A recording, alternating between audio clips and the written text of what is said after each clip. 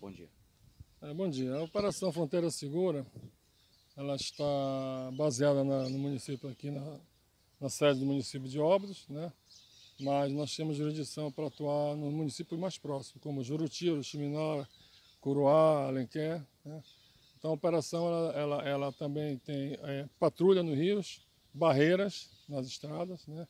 em razão de nós estamos recebendo denúncias de, de veículos roubados, principalmente motos que vêm do, do estado do Amazonas, né?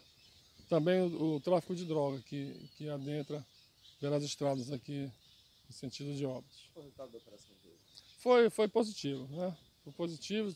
É, tivemos o apoio da, do Demutran, né? tivemos êxito. Com relação à documentação de veículos, foi toda repassada para eles fazer o procedimento legal, né? mas assim foi exitoso o trabalho, juntamente com a Força Nacional. A Polícia Federal tem pretensão de fazer mais uma operação já que está vindo aí final do ano? Exatamente, né? A Polícia Federal nós não informamos o nosso, o nosso trabalho. Nosso trabalho aqui né, é permanente, né? Como eu falei.